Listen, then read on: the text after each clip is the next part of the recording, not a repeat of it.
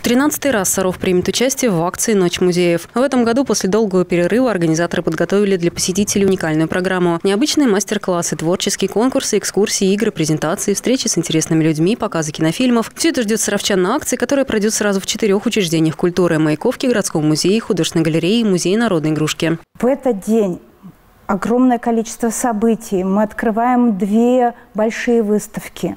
К нам приезжают э, наши гости, нижегородские художники Ирина Жемчужникова и Наталья Кострова.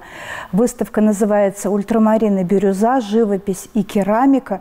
Мы встретимся с автором, зададим им вопросы, они пообщаются с нашими э, зрителями саровскими. Вторая выставка «Человек и кошка». В экспозиции представлены работы саровской художницы Александры Марковой «Ерошек». Для посетителей этой выставки организаторы подготовили подготовили небольшой интерактив. Зрители должны будут угадать смысл одной из картин и оставить свой комментарий. Также посетители художественной галереи ждут творческие мастерские, в которых каждый желающий сможет проявить креатив и получить заряд положительных эмоций. У нас приготовлено очень много сюрпризов разных и для авторов, и для зрителей будут э, в том числе и каверзные вопросы, э, будут поисковые задания. Здесь можно будет э, и раскрасить кошек. Городской музей также подготовил программу для посетителей. В этом году и Нижний Новгород, и наш город отмечают юбилеи. И эти события станут центральными темами Ночи музеев. В этом году исполняется 330 лет городу. Это важное событие.